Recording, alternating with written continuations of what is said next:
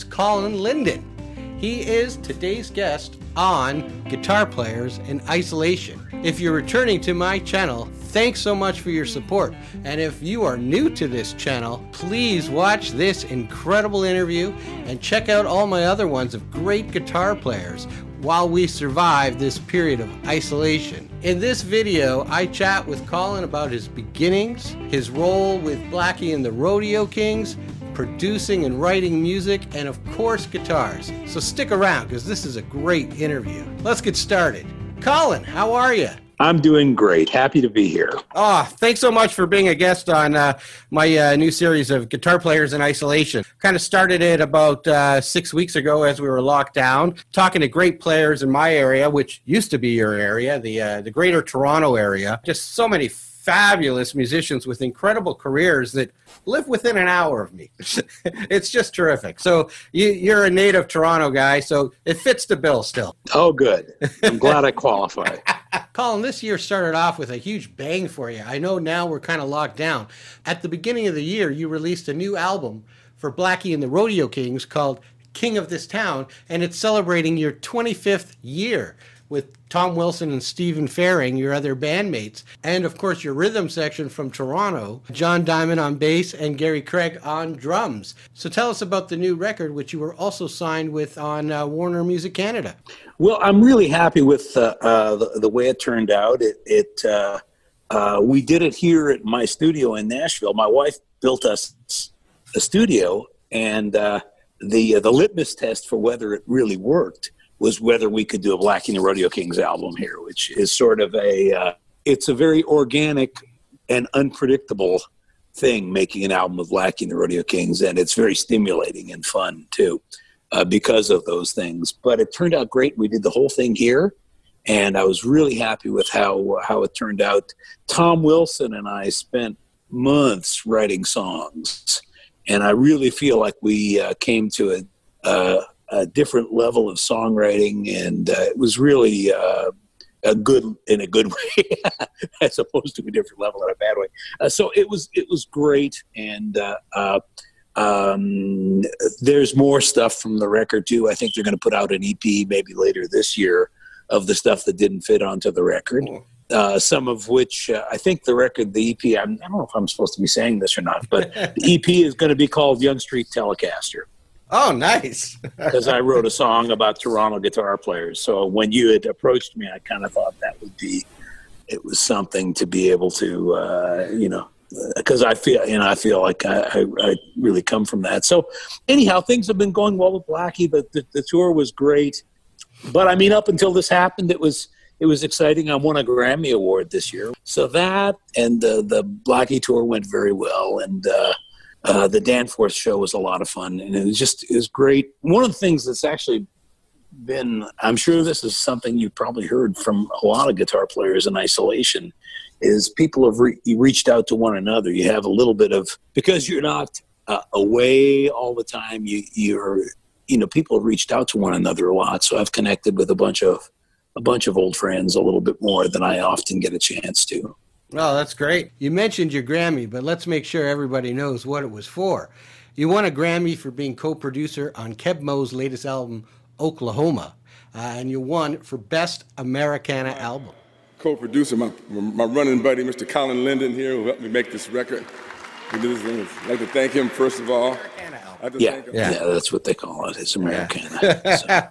And there's a history with you with Keb. Uh, early 2000s, you did a blues album, and Keb was one of your guests. I think it was your seventh album. Yeah, yeah, we we've actually done a lot of work together over the years, uh, and he, yeah, he's on. I don't. Is, I guess it might be number seven. Uh, Big Mouth was the name of the album. Yeah, that's right. That that, that he's on, uh, and I play on a bunch of his records over the years, and I've written a couple of his songs, which seem to keep sticking in his repertoire for a long time. One uh, called Life is Beautiful that he's recorded several times and uh, is one of his real popular songs, and another one called God Trying to Get Your Attention. And then we wrote a song together with Charles Esten from the Nashville TV show that's on the new album. uh, don't throw it away. If you could uh, retell a story that, I mean, you've told this before many times, but it's wonderful. Um, and I can kind of relate to it myself. I mean, when you were 11, you had just moved from uh, White Plain, New York uh, to Toronto. And you got to see one of your heroes, Howlin' Wolf, at the Colonial uh, Tavern here in Toronto on Yonge Street. Well, it's not here anymore, but um, I can really relate to this because my dad took me to Gliders in Hamilton when I was about 14 to see John Hammond. And it was just such an amazing performance that I remember it clearly to today. So, so tell us about when you were 11 meeting Howlin' Wolf. Well, he was really great to me. I remember back then, if you played in the clubs, I mean, the thing that I think a lot of people don't realize is that even though it was Howlin' Wolf, one of the giants of, music. He was also still a working musician. He worked six nights a week playing in clubs, and he played Monday to Saturday. And on Saturday, he had a matinee. And the Colonial was licensed as uh, has had a balcony that was licensed as a restaurant, so minors could get in. So I begged my mom to take me to see Howlin' Wolf, and uh, uh, we got there way early because I wanted to make sure I got in. And he was there finishing lunch, and he was just going to hang around. So walked through the balcony and I saw him at the side of the stage downstairs. There was you, would go through the balcony, then there was another set of stairs that led from the balcony to the stage. And so I saw him in the corner by at the bottom of the stairs next to the stage. So I made a beeline for him and I said, "Mr. Wolf, you're my hero. I'm only 11, but would you talk to me?" and and he said, "Sure." So he came upstairs and we spent the afternoon talking and hanging out, unbothered by anyone else, and uh, uh, it was really, really great. And from then on, whenever he would be in Toronto, which would be once or twice a year, you know, for the rest of his life, he would always take time for me, and we'd always have a really good hangout. He was great, you know. I was reading that one of the lessons Howlin' Wolf instilled on you um, was that if you like something he was playing, that you have to go back and research what led up to that. And I found that really interesting because you know, fairly recently, um, John Mayer, he's been doing stuff on YouTube like lots of celebrities have been doing, um, but really raw, just just his iPhone in front of him, and he's kind of jamming away to backing tracks, and he's just kind of talking, and that's what he said. He said, you know, if, if you're going to steal a lick, you gotta steal it, and then you gotta research where that lick came from, and that will really help you understand it. Yeah, well, it gives you a context for everything, and it's a source of ideas. It's, music has got strength in it, you know, and uh, something that sounded good in 1929 and still grabs you. It's uh, a friend of mine said that uh, time is the only critic without an agenda, and that's uh, that's uh, a true thing, I think. You know, so you know, Charlie Patton thing that was fantastic in 1929 still sounds fantastic in 2020 you know? That's true. you know, 91 years later so. It's amazing eh? All, all, the technology we have today i mean we'll talk about your work in producing. You go back and it was just so primitive but yet some of that stuff is just it's still magical. Well it's an interesting thing what you're talking about with john mayer because one of the other things about the, this period of isolation is it has brought back the sound of an iphone being an acceptable an acceptable method mm-hmm. of uh, of uh, conveying music, and I think fundamentally that's a really good thing. Fundamentally, I think that it puts the right shoe on the right foot.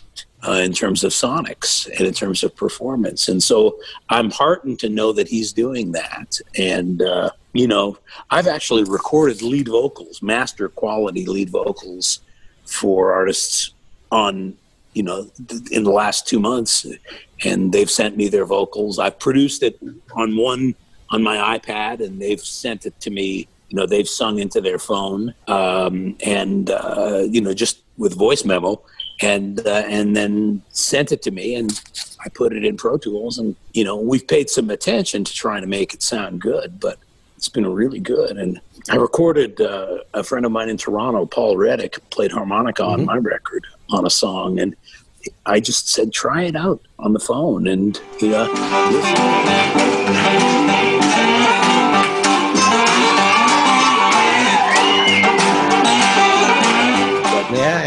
It's it's been an interesting thing, and I, I I think that fundamentally that's been a really good thing. It's gotten put way more emphasis on natural performance. That's a really good thing. So interesting that you say that, Colin, because I was literally just having a chat with my dad the other day on this topic. Music listeners are becoming more accustomed to hearing kind of lower sonic quality stuff. You know, we're, we're watching it through social media, um, stuff just recorded on iPhones. And it makes us focus more on the song and on the voice rather than layers and layers of high production overdubs. So the true art of the music and the song has to really come through. The band that I'm in, we just started fooling around with that a cappella app.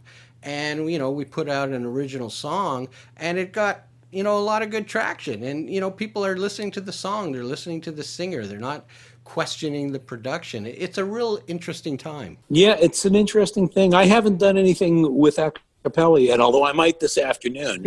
Uh, you know it interests me to do it. I've heard some beautiful things done that done that way as well and it's worked out it's worked out really well. So i think that it's it's almost like I found like recording vocals through the, through an iPhone.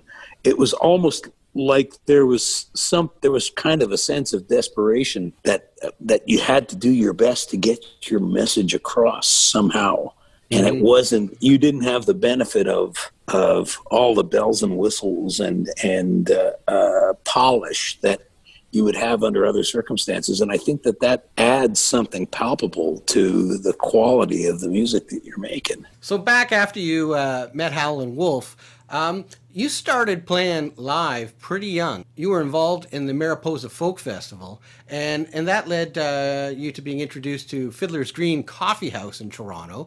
And there's when you kind of started meeting other musicians that kind of came up to you and talked you out of strumming and into finger picking. And one of the guys that started coaching you was uh, John Thibodeau. Well, you know, there were some really wonderful guitar players, as there are, as you mentioned now in Toronto. Back then, there were people who were really great players who were also, you mentioned my friend John Thibodeau, who's still a great friend of mine. He hmm. showed me so much on the guitar and uh, uh, it was so generous with his time and with his knowledge. And he was not only a very unique player who was, he didn't really sound or, or write like anyone else I had ever met, still to this day.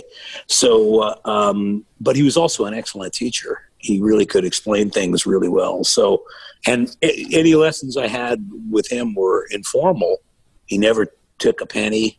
But uh, but I would go to his house every Saturday. You know, the year that I was 14, 15, um, you know, and and when I started performing, we'd sometimes play together, and uh, he was just he was a great friend, and and uh, um, both Ken and Chris Whiteley, who are still in in Toronto and great musicians, they were very very generous with their time with me, and uh, David Wilcox was right. Uh, meeting him was was it was a blessing, you know, on so many levels. And he was really uh, still one of my absolute favorite guitar players I've ever heard in my life. And and I, I owe a huge debt to him. I started seeing David Wilcox probably in my, my late teens, early twenties in Hamilton, where where I grew up, and and most of my non-musician friends at the time, you know, liked him you know, because of his kind of quirky, humorous lyrics, and, and they just worked well for drinking beer. But as a guitar player, I was just blown away by his tone. I mean, I've always thought that David Wilcox has like one of the best slide tones. When I heard him play slide for the first time, I thought this is a sound I want to uh, that I love more than anything else. I want to make this sound for the rest of my life. And that, okay. you know, that was about 44 years ago, 46 years ago. so I've, you know, spent most of the rest of my life doing that, you know. David Wilcox was clearly very instrumental in your career, um, as you know, he got you to go to Electric, and he also influenced you to start your own band.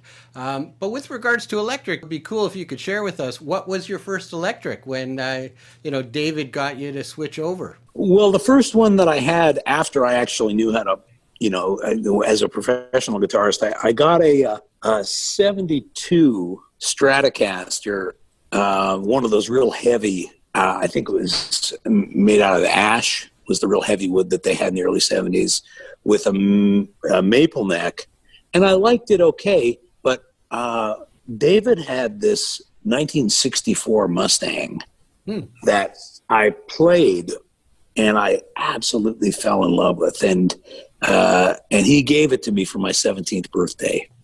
And for uh, many years, that was for about six years, that was the main guitar, main electric I played. Really, for a lot of you know my early, all my late teens into my early 20s, that was it for me in terms of electric guitars. I still have it, and I I use it on the Blackie album. I use Oh, it wow. in I, I use it in the studio. Uh, I, although once in a while I take it out. Uh, I take it out live. Uh, you know when I'm playing locally or something like that. I actually also used it um, on the. I worked on the television show called Nashville, Right. and yeah, of uh, one of one of the artists, uh, actors, and musicians who I worked closely with, uh, she's been doing really well on her own. She's uh, uh, made her first album. Her name is Lennon Stella, and she's uh, her. She and her sister Maisie um, uh, are from Whitby, Ontario, and they were Oh, I didn't know that. two of the young Yeah. stars of, Yeah, of the didn't Nashville show, Yeah. and they're both unbelievably talented. Lennon's had it. She, I think, her record has been doing great. Her Yeah, first yeah. album, and uh, but Lennon is a, a very, very capable. They're both very capable players uh, if- for being so young. And when her character was 17, her character went through a period where she went through a wild phase where she was she had gone from playing you know pretty you know pretty acoustic guitar songs to going electric and playing you know she kind of fell in with a rougher crowd we recorded some cool songs for her that way and i played those songs. I used the mustang Hmm. to play those songs because she was 17 and that's how old i was when i got it. Oh, and then wow. when and then when we shot the scenes of her playing she's playing it live or she's Oh, playing it on camera uh, that guitar. So it's actually still it's still really a, uh you know real part of my life still That's a great story. I'll have to look that up. Maybe I can interject a little video if I can find it. yeah there's uh, the song that she plays it on it was i think in season three i mean the show was on Okay. for six years it was definitely in season three or season four it wasn't any later than that i know the wild was in the title you know wild night or Wildlife or something like that i forget we recorded a lot of songs um, um, but she did good she I, you know i showed her how to play the part that i played and she mimed it on camera did a killer killer job of it, and uh, um, it was it was a really uh, lovely thing because I thought this is the perfect guitar for a 17 year old. Yeah, it's a uh, short. and- it's a shorter scale too, right? yeah, yeah. absolutely. And Yeah. and and uh, one of the things that I learned from David to be able to go back and forth between playing acoustic and electric, I always gravitated towards slightly heavier strings. Yeah. and uh, um, Oh, right, and the. Mustang, you know, the, the Mustang had heavier even than the most of the ones I use now. So you were playing a bit with David Wilcox, and then you did some sideman work with uh, Leon Redbone. Then you got around to doing your first album, and you did it a live album, and it was influenced by your Toronto guitar heroes, being uh, you know David Wilcox, Robbie Robertson, and uh, Amos Garrett. Tell us about that first album. Well, absolutely. You know, to this day, I I love all three of their playing so much. And Amos, you know, I played in Amos's band uh, in my early twenties uh, when he was sort of transitioning between living in Canada, coming back to Canada, and living in in the states. He would come up to Canada and play for about ten or twelve weeks a year. You know, usually for maybe a three week stint, maybe four times over the course of the year and I was in his band from when I was 20 till when I was about 23. And Amos also was tremendously generous with showing me stuff. And his his playing, all three of those guys show up every time I play. You know, Oh, that's great. they're all in there. So, with regards to Amos, how big of a stretch really is that uh, that note uh, in, in the song "Sleepwalk"?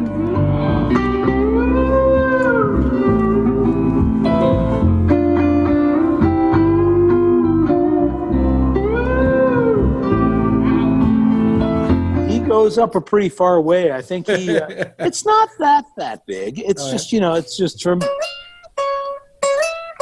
I think it's just you know a tone and a half. Okay, I thought it was more. I don't think it is. Okay. Uh, but uh, he does some unusual things. I could probably do easier on electric guitar, but, but like where he'll start with two strings bent up like that, Right.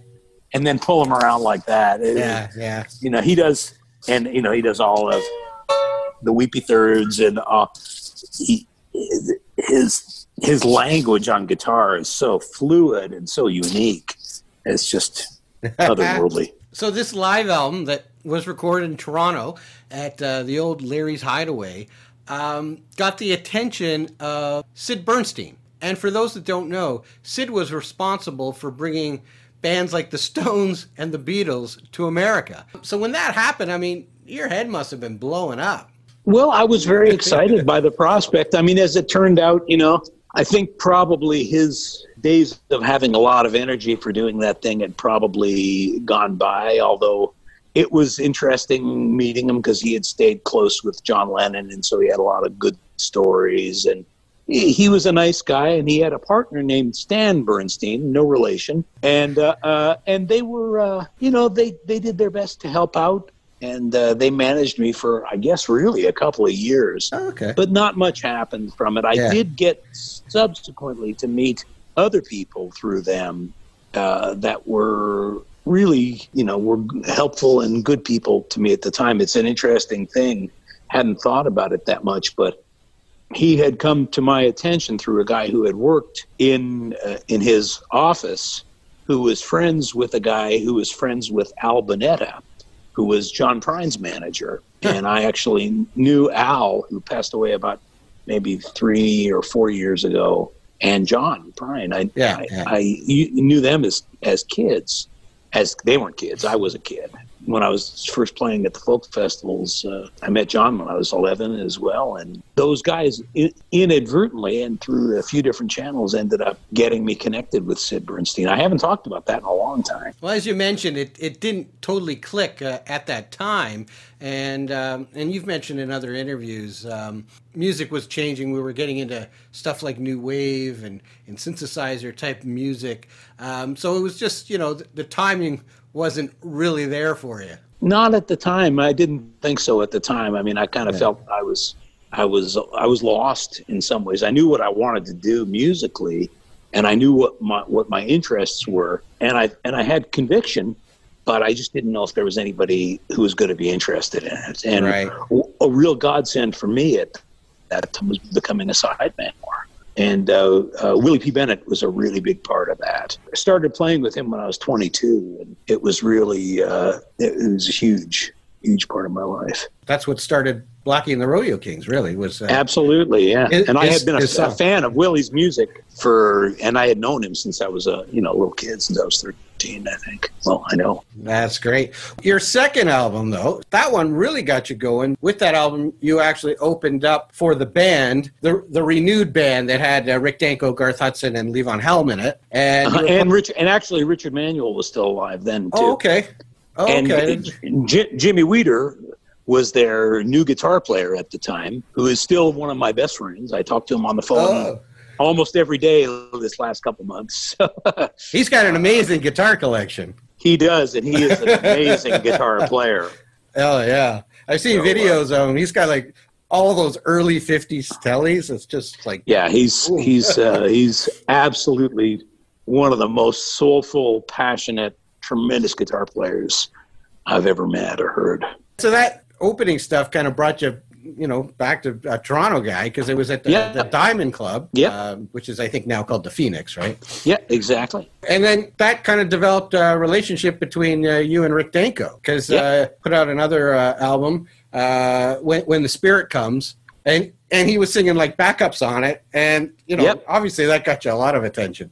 That's just it amazing. Sure did. Yeah. it sure did. And uh, uh, Rick sings on well on the original album. They cut off a couple of the songs, but he uh, on the, the the CD when it it was reissued, he sings on five of the songs on the record, and uh, and Garth Hudson plays on two songs on the record, and uh, through that, you know, that was sort of in that period of time right after Richard Manuel had passed, and I think they were sort of trying to figure out where they fit into the scheme of things at that point. And I think they just wanted to hang out with people who were like minded and who they liked. They brought me into their scene, and they were really uh, really wonderful to me. And uh, you know, to this day, uh, uh, Jimmy is one of my closest friends, and and I don't get to see Garth that much. Garth doesn't travel that much. We're still, you know, I'm still in touch with him. We're still real good wow. friends. So I'm a huge fan of the band too.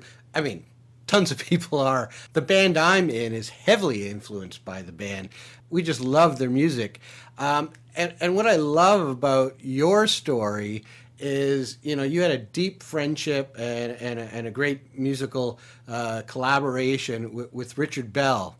And he ended up joining the band. I met Richard through those guys, you know, because Richard okay. and Jimmy were, were very, very close friends you know, they were they were the, the very you know very close friends. And I met Richard in uh, June of 1989 when I was actually my wife and I were staying with the Dankos in Woodstock, and Jimmy was playing at a little club in town. And uh, and Rick said to me, gotta go hear Jimmy play tonight. Richard Bell's playing with them.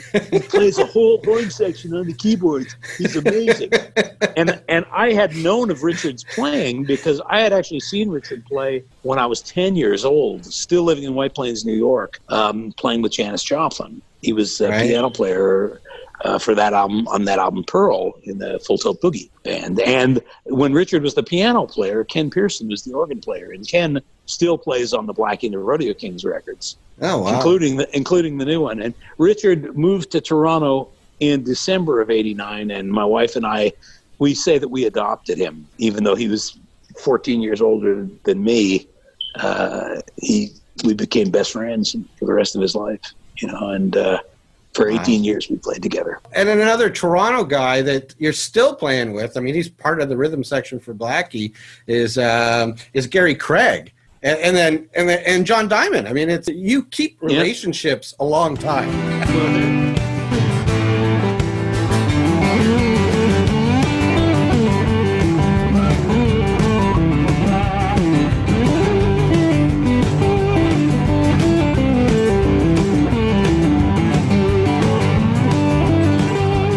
Well, they're they're they're my best friends who are with us. I mean, the, the, the four of us were so tight, and Gary Johnny and I are they're they're my best friends in the world. And uh, Gary and I have played together for 36 years now. Wow. And jo- Johnny, uh, 29 years. Really, truly, uh, it's uh, it's a, a blessing that I'm that I get to play with those guys in my band in Blackie uh, we've been sidemen together. Uh, I, have been I was the band leader for for the Nashville TV. You're right. We, would play live uh, every season except for at the end of season one, but every season subsequent.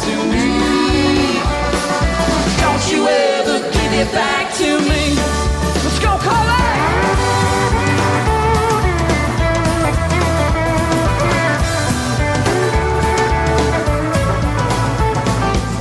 We toured uh, with a number of the cast members and played.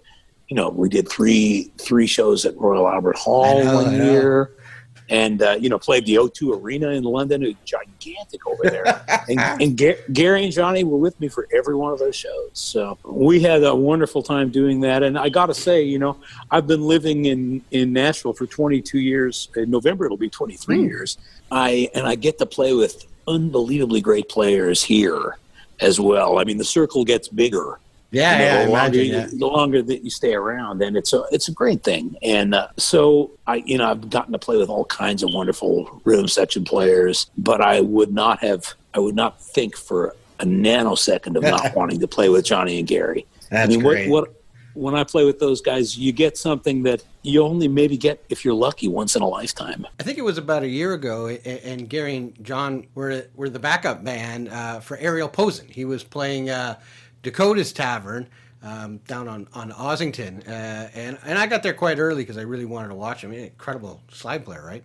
And um, then I kind of noticed, uh, you know, John and, and Gary setting up, and I was like, man, this is going to be a good show. yeah, I bet. I bet it was. so going back to your uh, relationship with uh, Rick Danko, um, you were going to uh, record a, a, new blues album called uh, Eight North at Nine. You kind of struck this deal with Levon Helm that you could do stuff at his studio in return for uh, producing the band's album Jericho. Not exactly right. Okay. Um, uh, well, uh, the record was called South at Eight, North at Nine, and uh, I didn't produce Jericho.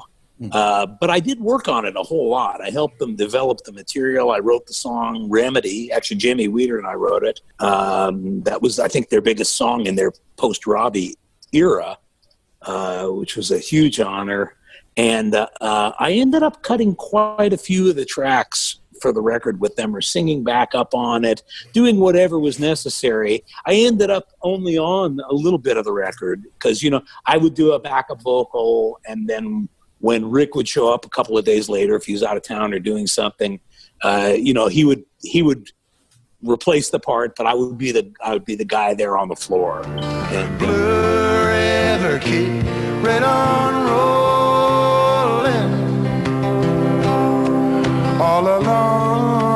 shoreline. Keep us safe from the deep and the dark. And uh, um, so I, it was a wonderful experience. And, and I didn't know how to drive then. So uh, um, I stayed uh, for, I guess it was maybe for about two or three weeks, maybe two or three times over the course of a few months. I just stayed at Levon, stayed at the barn, which is where uh, they recorded, and I would uh, get up earlier in the day, and uh, uh, Richard would be staying over at Jimmy Weider's place, and Jimmy and Richard would come and pick me up, and we'd have, you know, have breakfast, and then Richard did uh, all almost all the playing he did on South at Eight North at Nine. He cut at Levon's house. So we would work on my album from like 10 or 11 till those guys got ready. They were more sort of later afternoon, evening guys. So, and then, you know, we'd work for two or three hours, then just put up a different reel of tape and start working on Jericho. when those guys got up and started coming in, so it was very stimulating. And it really, you know, it, it, it certainly played in in a big way to how I like to work. And, we just had we just like a lot of the same things. and We felt comfortable working the same way. There was a documentary out, I guess, a few years back on uh, Levon Helm. They were showing that studio quite a bit. Yeah, yeah. It's it was it still is is going on, and uh, I guess six or seven years of Levon's life, he had a really wonderful renaissance that was really birthed out of doing shows at his studio, you know, yeah. at his house, at his barn uh, you know, that he called the Midnight Rambles, and uh, uh, you know, Levon Helm's Midnight Ramble, and he would. It would. He had a tremendous amount of success and had a wonderful uh, sort of later in life career because Levon was got very sick in the mm-hmm. late '90s. Got you know had cancer and uh, throat cancer and lost his voice for a few years and worked mm. worked way harder than he ever would have said to get his voice back. And uh, and then by sort of around I guess 2004 or 2005, he started doing these shows and he gradually started singing a little and made mm. two beautiful albums and uh, three beautiful albums, including a live album. And uh, uh, you know would have guests come up and it would be a really wonderful way to put together musical shows. It was some of the best when I would, uh, you know, I went to a few of the rambles down there, and I would sit in and uh, some of the best music I ever heard in my life. You've mentioned that on that album there are, there are no sticks, and the reason being is because uh, the volume of, of sticks on drums didn't work for that room. I'm curious how uh, the design of the room didn't work for that and wanted you to do it in a, in a quieter way. Well, the uh, uh, it was a small room that we recorded in, and it was a, an untreated room. This is not Levon's place. This is uh, where we cut the tracks, where Johnny and Gary and I cut the tracks. Oh, okay. Uh, there was a room at uh, the building doesn't even exist anymore. It was at One Phoebe Street, near Queen and John in Toronto. I actually worked there a lot, and the, and the, the space uh, was rented by a good friend of mine named Scott Dibble who uh, uh, is still a good friend, actually came out and did guitars with Blackie in February. Because in addition to being a wonderful singer, songwriter, guitarist, he's also kind of a, a Zen guru in terms of setting up guitars, and uh, so it was. He's he's a great guy. He had a record deal with Warner Brothers at the time under the name Watertown, and he got me to uh, work on his second album with him Hmm. writing the songs and putting together the band. Jonathan Goldsmith produced the record, who I learned a tremendous amount from as well. And that kind of led to me working with Bruce Cockburn because Jonathan had hmm. worked with Bruce for years. But we cut the record, we cut South at 8 North at 9 at Scott's room at 1 Phoebe Street. And it was a small room, smaller than our studio. Our studio is about a 1,000 square feet with a 16 foot ceiling. This was maybe, I don't know, maybe 400 square feet. And it had a wonderful sound when everybody played quietly. But when you play, when, when you play hard, it, you'd hear the drums bouncing off the walls and it would be kind of harsh sounding. So I had wanted to make the record mostly a blues record and mostly acoustic. And uh, it just sort of seemed like the body of songs that I had, I had other songs that, that seemed to fit the uh, concept.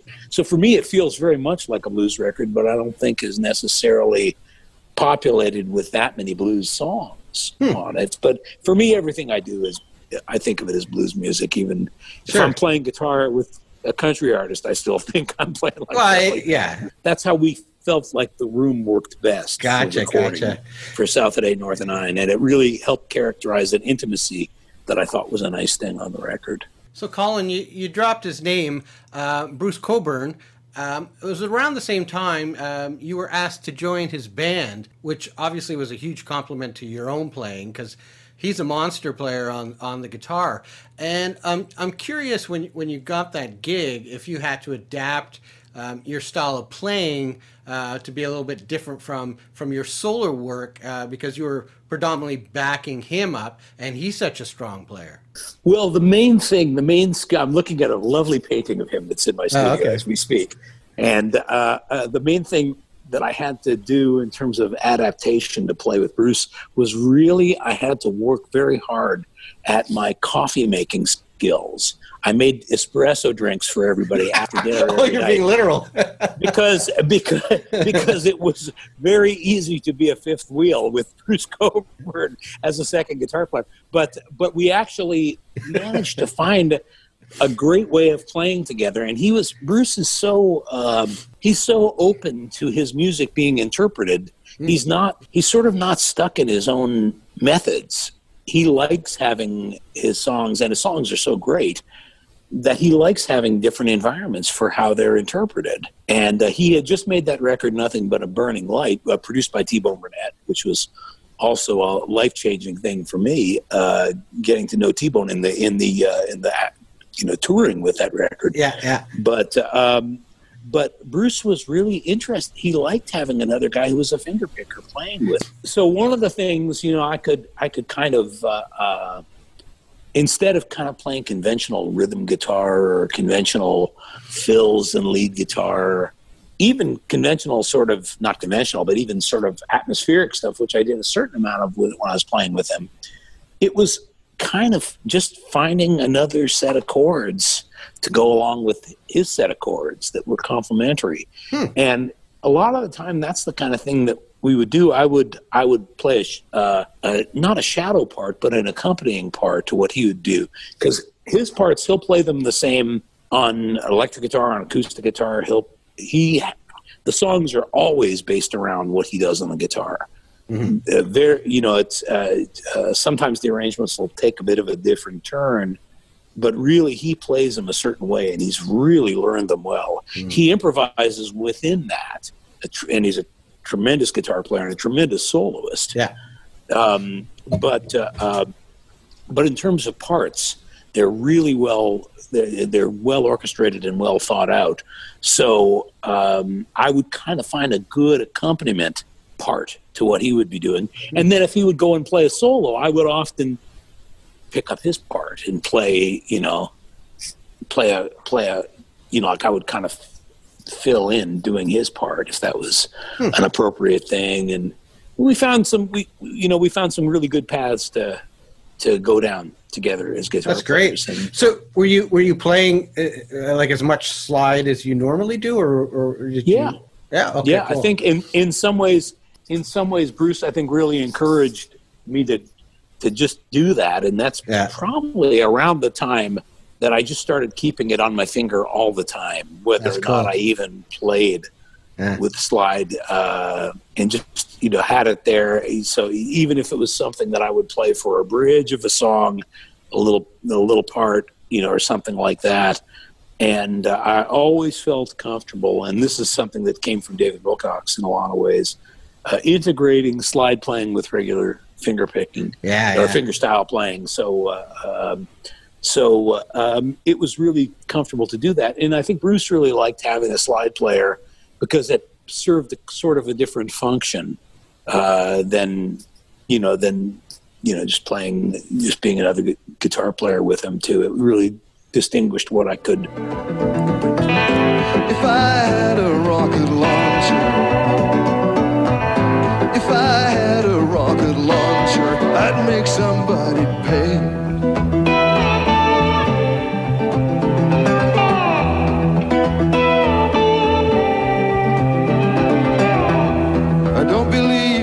bring to it. I mean, he would, you know, characterize it when he would uh, introduce me or when he talked about me. He said, you know, he would always say, "I have a guy who's a slide player, who's a really cool slide player playing with me." Um, that was yeah. something that you know That's great. that I think he he really encouraged. Back around 1990, I was um, taking a, a music course at, at Mac, and, and one of the, the fun little projects uh, that was assigned was uh, to do a music review. So um, I went with a friend, and we caught a show by the Bourbon Tabernacle Choir at uh, the El Mocambo. So what's interesting about that is um, you took singing lessons from uh, Dave Wall from the Bourbon Tabernacle Choir. Well, I I was interested. I, I made I made one album uh, in the mid '90s called "Through the Storm, Through the Night" that was really profoundly influenced by gospel music, especially fi- '50s era gospel group music. I listened to a ton of for a few years, just almost to the exclusion of everything else. I got really fascinated with it and really fell in love with it. Still am. Uh, but that record really reflected it uh, in the songwriting and in some of the style. And I just kind of knew that for me to be able to pull off some of the songs that I was writing, I really needed help. Frankly, I probably shouldn't have stopped taking lessons. I could still use a little help. But uh, but Dave was really great because he had I had met him. I had heard Bourbon Tabernacle Choir, but I really met Dave through Ken Whiteley, and uh, um, and I think that he kind of understood what was influencing me and kind of knew how to help me, you know, um, learn things that would be kind of practical knowledge for doing the kind of material I was writing at the time. Yeah, they were great. I, I- remember seeing them here and there. Uh, I guess this would be late '80s, early '90s, and Yeah, that's what, right. What a powerful band that was. Yeah, they were. They were. I, I I didn't see them that many times, and I didn't really.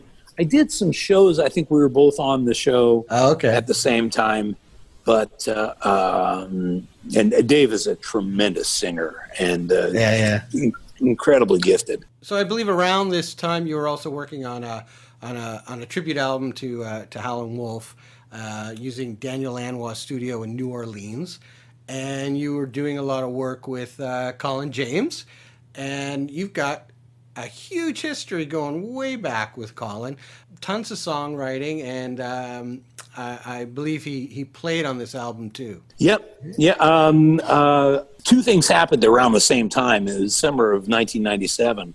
I made a Howlin' Wolf tribute album with a bunch of. I was one of the producers on it, and I was one of the artists on it, and uh, uh, I was, you know, in in the band for it.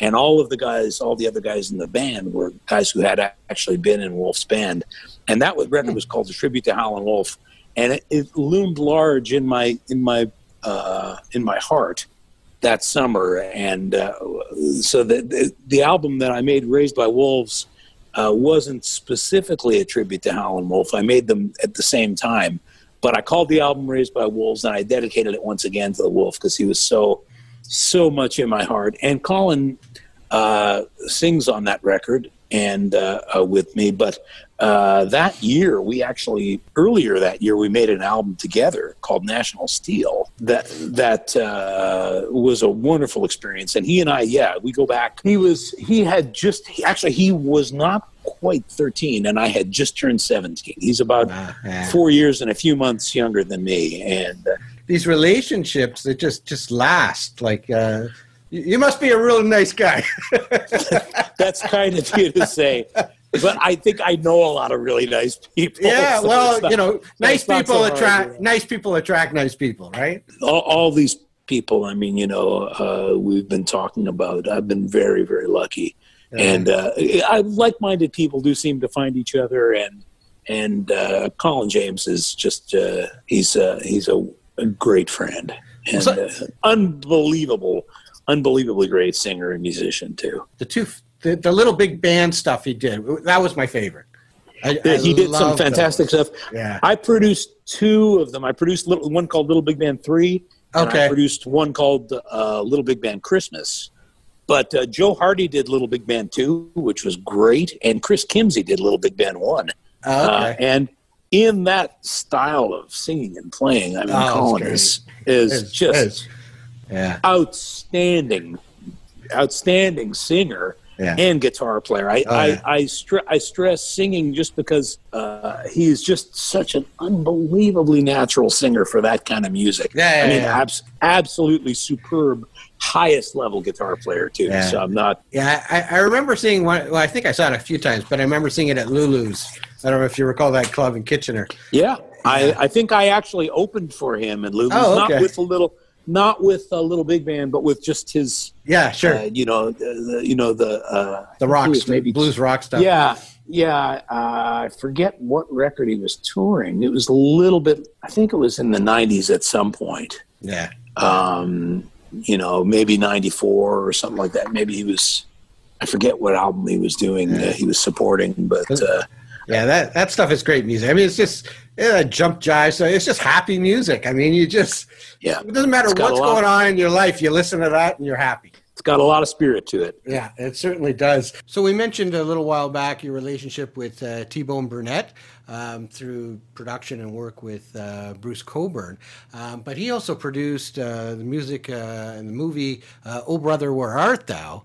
And you were brought in to work with um, Chris King on how to play one of the songs, and, and, and you ended up doing work uh, in the live performances that followed after. Uh, sounds like an incredible experience. Uh, tell us about that. It was a great thing. Well, T Bone uh, is uh, still to this day, you know, very, very. In fact, T Bone and his wife, his wife is the woman who created the TV show Nashville, Callie Khouri. Oh, And, uh, okay. They're, they're actually the only people who my wife and I have seen face to face in the last two months. Okay. You know, uh, he he is a great friend and a, a great great mentor to me as a producer and as a musician. Uh, wonderful, wonderful friend. He produced nothing but a burning light for Bruce, and I and Bruce called me to put together the band to support that record. Subsequently, he produced the next album called Dark to the Heart and had me and Richard Bell play on that. Uh, so that was the first time I worked with T Bone in the studio, and it was absolutely life changing for me. And that was in March of 1993. This is a long time ago now Right, right. and uh, and over the years we just stayed good friends and uh, he would get me to come in and to you know to do a thing or two for him once in a while to play on and then when oh brother where art thou came out uh, came along most of the music was uh, uh, kind of old timey music you know uh, bluegrass the the roots of bluegrass music Yeah, yeah. but there was a there was a blues component that he felt very strong about with uh, uh, Chris Thomas King, who's an actor, yeah, yeah. who's mostly a musician, but also an, a fine actor too. And he wanted "A "Hard Time Killing Floor," the Skip James song, to be one of the pivotal songs for "Oh Brother Where Art Thou." So they got me to come in and work with Chris to get to get it exactly like the 1930 recording of Skip James doing it. John Long burned down liquor store. John Long burned down liquor store. For that bootleg where we gon' go? He turned water to whiskey. which I had spent at that point, which was 19, uh, I guess it was 19, end of 1999. Uh, I had spent, you know, 25 years learning that song. So I showed it to Chris and I played the instrumental version of it that's in the film. And Chris, the version of it that you see him singing in the film, that's also on the record, is the live version of him doing it on set um, that you hear. And, and he did a fine job of it. And then subsequently, there was a record that celebrated the music of "Oh Brother, Where Art Thou," Right. uh, that was made from a live concert that was entitled Down from the Mountain, and they made a movie of that as well. And Chris and I played together on that. Yeah, yeah. And then, and then uh, and uh, we did some live shows. He did a, Chris did a lot of them. I did some of the live shows with them, and uh, um, that got me to work with uh, Joel and Ethan Coen and the Coen brothers, who have been wonderful, wonderful people in my life. And uh, and T Bone uh, has hired me. God bless him. To play on a lot, a lot of, a lot of sessions, a lot of records and films for him, and uh, uh, through him and his wife, they got me involved with the Nashville show for six years. It was a, like my uh, godsend for me. So, uh, um, Wow. uh, and T Bone also has just been, he's such a wonderful guy to, to work with, um, has really has uh, been uh, just a great mentor as somebody, as a record making person. Well, let's not leave out another thing you did with T Bone Burnett. Uh, he put together a gospel music concert at the White House. So Yes. you were playing at the White House. This was like Uh, 2015. the, the, the previous uh, occupants were living in the White yes, House. at yes, the yes. 2015. And, uh, you, you got the cutoff just right. it was it was a beautiful it was a beautiful experience. I mean, it was one of the greatest things ever to get Yeah, to yeah. play there, and uh, um, and it was uh, it was a, a you know a gospel a show a celebration of gospel music and sure. and one wonderful people Shirley Caesar and uh, uh, Darlene Love, uh, Lyle Lovett, Emmylou Harris, uh, who I had already Yeah, I was in her band, Yeah, and yeah. Uh, Rodney Crowell, some tremendous uh, Tamerlan Hart, a wonderful, more modern gospel singer, and it was just really uh, a fantastic show to be involved in. Can you give us a behind the scenes of like what was the security like, like going in to play there, and how do it you get your guitars in there? And Well, I mean, it was very well organized, and we had flown in, I guess, maybe three days before, and we had done the rehearsals. Aretha Franklin was on the show too, Oh. but we did we didn't get to play with Aretha. She brought her own musicians to play. yeah, yeah. and she was great. Aretha complimented me on my playing, Oh. and I was just, uh, I felt like I had died and gone to Oh. heaven. And um, so we we rehearsed for two days uh, at a at a ballroom at the hotel that we were staying at that was not that far from the White House, and then uh, on the at the end of the second day of rehearsing, I guess we uh, we did we, you know we went over to the White House and did a uh, essentially a sound check there. it was the end of the second day or end of the third day. I think maybe the end of the second day. We went over there, and you know everybody had, you know, we had spent, you know, we had uh, the, everybody had been pre-cleared for, you know, for security uh, you know, long before we ever got on a plane to go to Washington. And uh, we, you know, I had I had a bunch of guitars with me. I had uh, uh, one guitar that seems to be real really connect with me with gospel music is a, a 1964 Guild Starfire, which was I used that and I used my Dobro and I used uh, my Les Paul, my uh, uh, uh, 2004 Custom Shop. That, that's the one with the, P, the with the, The P90s. P90s. Yeah, Yep. yeah, yeah. I, I love that guitar and I use that. Uh, and I used uh, this guitar I have right here, which is a 1951 uh, CF 100E. Uh, I think I brought maybe I, I brought my 66 Telecaster with me. And, uh, you know, I just just brought my very favorite guitars. What was it like, you know, kind of getting ready to perform uh, at the White House? I mean, it's I, I can't really grasp the, the, the size of the room, but it looks very intimate. It was an interesting thing. And here's a cool thing I had never used in ears before.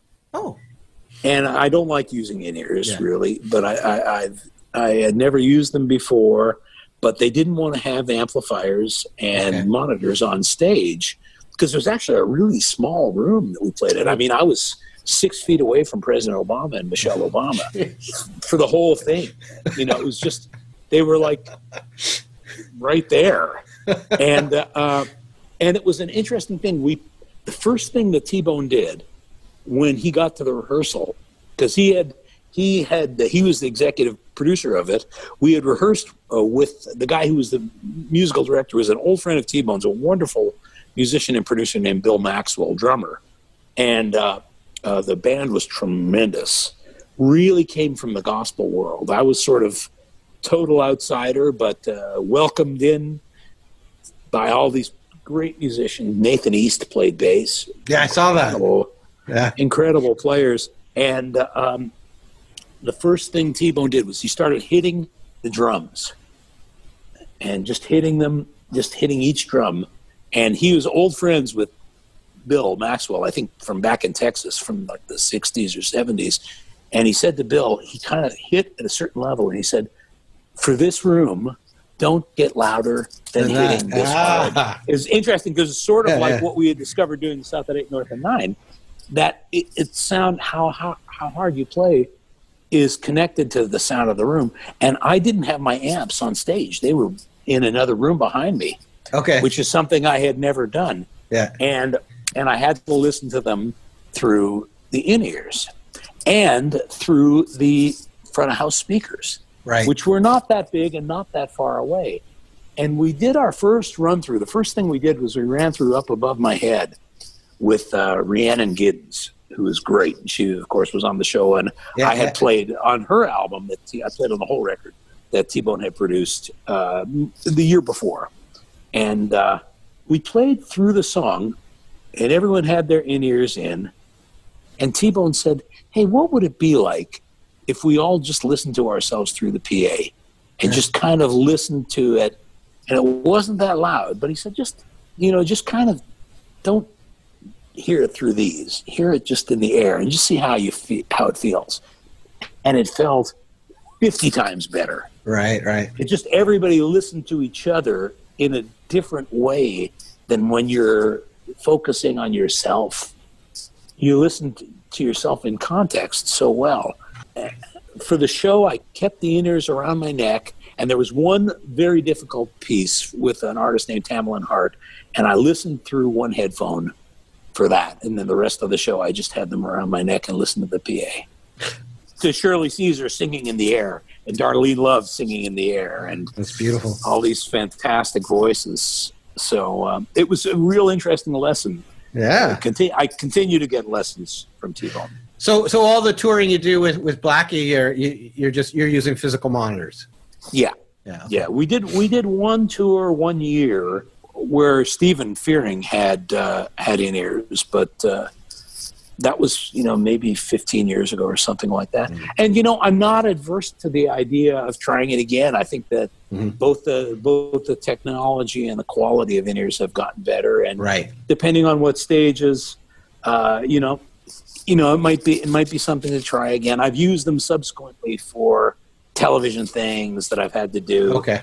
and you know, I've kind of gotten gotten used to it, but I don't own a pair or anything like that. wow. Uh, um, and I would maybe you know be amenable to it, depending on the you know if I was uh, you know depending on the gig, but but I really like being able to relate to how a guitar amp sounds from Yeah, yeah, five sure. feet Yeah. Yeah. and relate to how it sounds from 10 feet too Yeah. you know And you usually like playing with two. Most of the stuff I see you, you gotta yeah you gotta pair I uh, use- deluxes or something. yep that's that's what i use for uh, um, since 1991 when i first started with bruce i got a silver deluxe and a silver vibrolux that was what i used then and uh, and that was really good and then in the interim in between the two tours i did with bruce i began to really get into the older amps and i used my old tweed deluxe in the studio so much that i became really dependent on it and I didn't want to take it on the road, even though I used to take it on the road when I was in my teens, uh, without a road case or anything, fly with it and everything, and it survived all that. But I didn't want to take it on the road, so I got a, uh, a '54 TV front Tweed Deluxe, uh, which is about uh, two feet behind me to my Okay. right Yeah. and and I got a a, a 64 uh, Bassman that uh, in the in the 90s a number of Toronto and Ontario guys began mounting blackface Bassmans into 112 open back cabinets and a fellow named Jeff Baker harmonica player uh, put one of these together my friend Teddy Leonard who's a great guitar player one of my favorite blues players in Canada for sure lives in London Ontario he had one and he kind of hit me to the one that was available. Uh, and I bought it from Jeff Baker and I, I used the TV front tweed and the blackface Bassman in the 112 cabinet. I used that for the second Bruce tour and I, uh, that's, uh, I used that a lot. And then more recently, you know, when I've been able to take out my own stuff, I toured with Bob Dylan in the summer of 2013. Yeah, I I brought out a, a reissue, a reissue deluxe. I have a few of those. Yeah. A, re- a reissue blackface and a reissue tweed. Um, but the reissue tweed, I had some stuff, a li- couple modifications done, and that's if if I'll if I can carry my own stuff with me, that's what I take out on the road. Cool. But if I can't, I just use two reissue blackfaces. Yeah, yeah, yeah. Are you doing a stereo thing or are you just looping from input to input? No stereo. Okay. Always have done it that way. Never done the input. Well, I did the input to input in my teens when I first started messing with two amps. Yeah. because I yeah. like little little amps, and I felt like I should probably have a little one and a big one. But um, it's always been stereo, and the, the thing that usually stereoizes me is a Boss DD5 pedal, which is the first. It's the first digital delay that Boss made that had the reverse effect on it. They kind of improved the sound after the five, and made me like it a whole lot less. You know, the, the Yeah, five yeah. had kind of a darker sound, and I just like the sound. So whenever I see a DD5, I pick it up because Yeah, it's a real inter- integral part of, of of what I of my thing, and I really just use it for for separating stereo and using that reverse effect. Gotcha. I'm a big fan of Brad Paisley, and I remember hi in an interview, he, he swore that the DD2 was better than the DD3. So I remember once it came up on Craigslist, and I got the DD2. yeah, well, uh, you know, a lot of the time that's the case. You know, the more high fidelity they become, they uh, that changes the tonality. I remember we we had Brad on the uh, on the TV show, and I didn't record him, but I, you know, he used his real setup. Oh, And, uh, cool. that's what he used. He used the DD2 and uh, Oh, that's and so two, cool. Two matchless amps, I think, with Okay. four tens. Yeah, but usually he's playing those Dr. Zeds. Uh, I Or Z's. They're American. uh, I think that it was. I think it was matchless. Okay. Four ten, four tens. It might have been Doctor Z's. Yeah. Uh, it was. It was some kind of modern super. His wife was on the, I, remember, I think, on the, Yeah. maybe just Yeah, the first series, or? She was in. Yeah, I think that she got. Uh, she got killed off. Yeah, she the- got killed off. at the at the end of the first uh, the first uh, uh, first season. She was really nice. Uh, Yeah, they they cool. came they came to the set quite a bit. I don't know Brad very well, but I like him. He's a Sure. nice guy.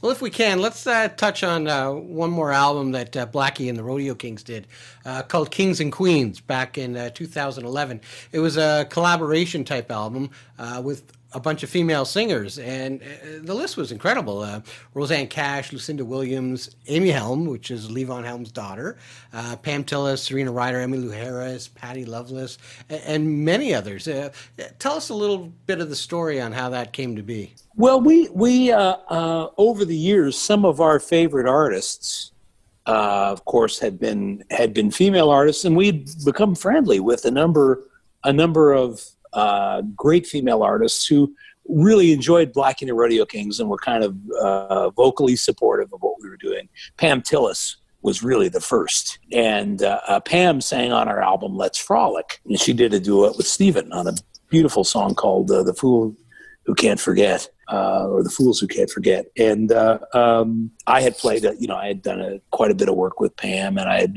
I'd done some writing with her and played some gigs and some sessions with her. She's a lovely person, and and Rosanne Cash.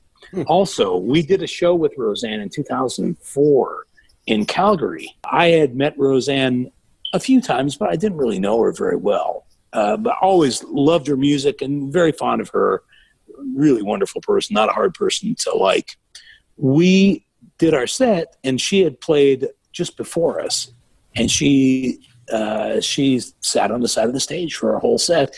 And one of the things that we had done was a version of Folsom Prison Blues that we had recorded for a blues tribute to Johnny Cash. And at the end of the show, she came up to us with tears in her eyes, saying that sounded like it had come directly from her father's heart Oh, which was just the greatest thing. I mean, that's we all got we all got kind of choked up here. Yeah, yeah. And and uh, you know, and you know, so we you know we kind of stayed in touch, and that was 2004. So uh, when we got the idea to do, I, I got the idea actually to do Kings and Queens. It, I kind of thought, we that there were a number of women who had been really, uh, you know, who liked our group a lot. Emmy, I had been in Emmy's band, Yeah, and she was Yeah. fond of fond of Blackie, and and uh, um, several of the artists who were on on the record were real, you know, fans of the band. And uh, I had played on Cassandra Wilson's album through T Bone, of course, and uh, uh, I just got the idea. I thought, you know, I'll sing for you now as I'm going. You can hold to what's broken the rest of your days. Or let go of the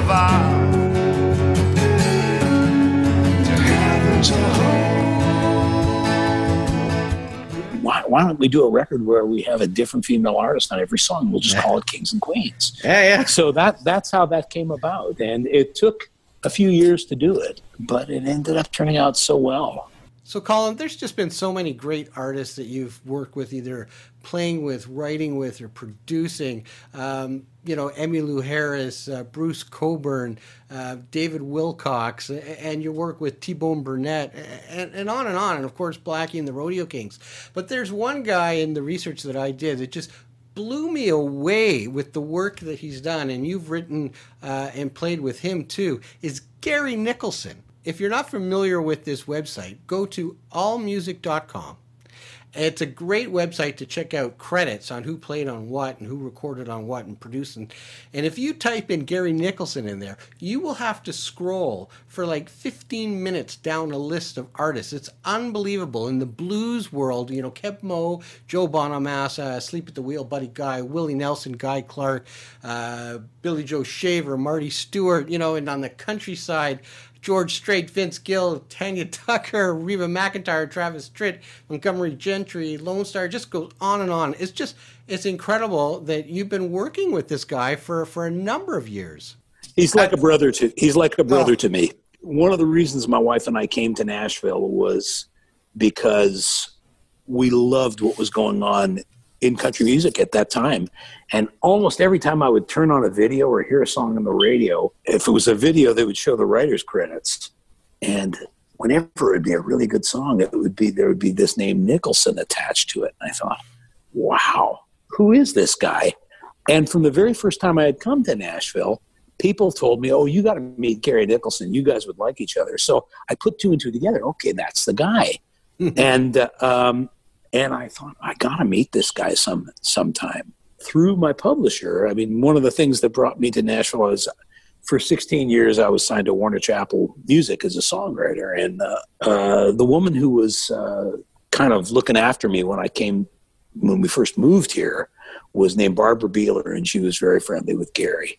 So she she sent him one of my records, and then through a, a gal who uh, I, I'm still great friends with, a wonderful singer named Jonelle Mosser. Jonelle uh, was very close with Gary, had sung in his band, and uh, had uh, you know had recorded a bunch of Gary songs. Just was very close to him.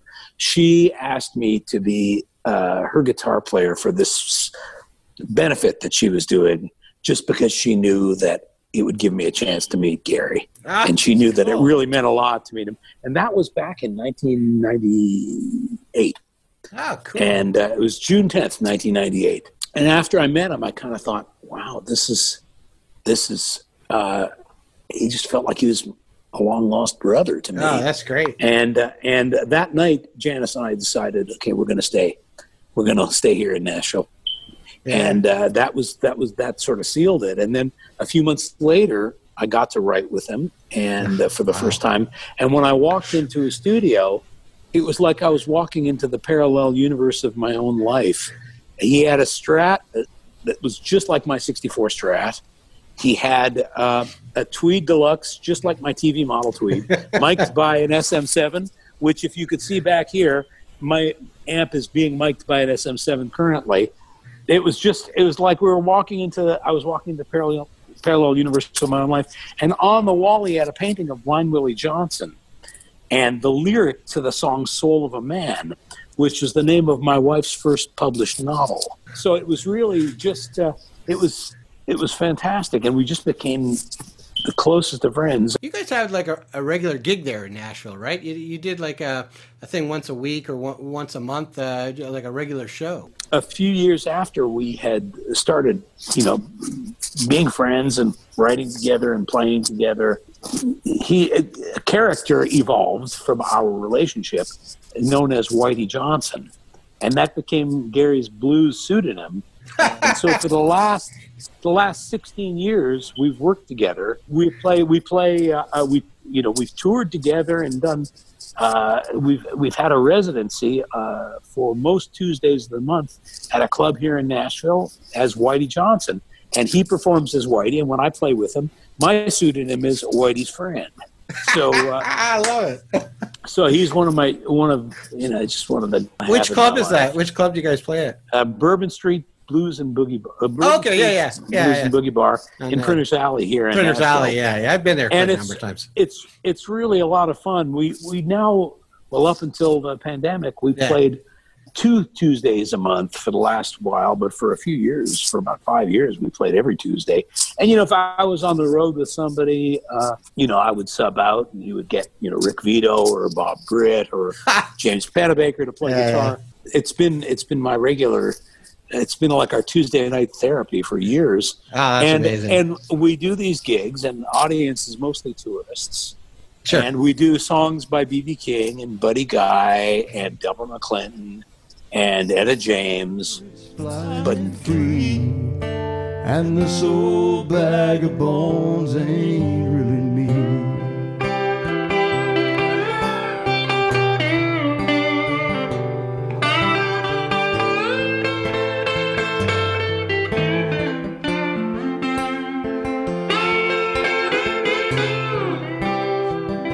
but Gary wrote all of them. it's You know, unbelievable. they they happened to cut his song. He's had over 400 cuts, probably over 500 by now. And Crazy. and he's really truly one of the greatest. I think of him as the Willie Dixon of the Yeah. 21st century because he's uh, And he's a good guitar player too. uh, he is a tremendous guitar player. All, all the huge names that have been in and out of your career, the history of that, of Gary Nicholson is just, I couldn't believe it. He's uh, he is he is unbelievable. You know, Yeah. he's What what a gift that guy has.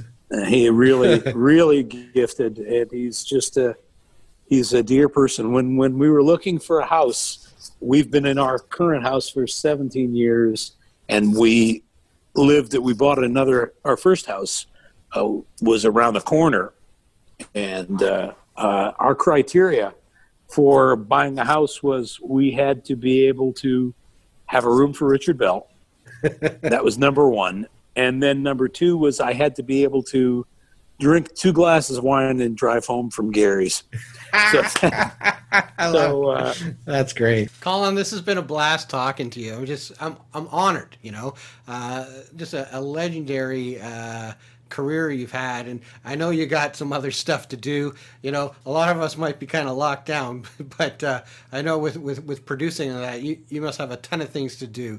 Um, so I don't want to hold you too much longer. Just thanks again, man. I'm finishing up one of my own albums, another solo. Oh, great, album. So that's the main thing right now. But I've been doing a lot of things, you know, getting a fair bit of, thank heaven, you know, called to do other stuff and trying to do more online That's stuff. great. Just yeah. because you know it's been i started performing uh, july 14th 1972 when i was 12 and this period of time and I'm, i know i'm not unique in this is the longest i've gone without being on a stage and I bet. clo- Yeah. clo- I close to 40, 48 years so It's it's a weird. It's weird not doing it. it is It's It is. weird. you know you, you really miss it and uh, you miss connecting with people and i it's it's yeah so so just getting a chance to talk about music and get a chance to play all that stuff really means a lot so thank you for having me Oh, my pleasure. It's been an honor talking to you. and i and I, I really have to say i feel like i uh, even after after living in the south for 22 almost 23 years that's definitely rubbed off on my playing in a lot of ways but i feel fundamentally like i'm a toronto guitar player you know that's that's so when i knew that that was the focus of what you were doing Yeah, i felt thanks. real real honored to be included in that Yeah, in that I- team I think my, my next guest, uh, I won't mention the name, but uh, he, he was from Toronto, but he, he lives near you now. So uh, I'll, I'll message you who I'm talking about. But uh, Great, uh, great, yeah, great. so I'm Well, looking forward to that. So Okay, well, uh, great, great to do this. Thanks for having me. awesome, thanks, man. Well, if you made it this far in the interview, thanks so much for sticking around. It was a fabulous interview. I'm so honored to be able to have uh, had Colin Linden as a guest on Guitar Players in Isolation. If you liked this interview, I encourage you to look around on my channel and watch some of the other ones. I've just had such a great opportunity to interview so many great guitar players over the last couple months. I've got many more great guests coming up. So if you haven't already, please hit the subscribe button, hit the bell notification button. We'll see you in another week. Take care. Bye.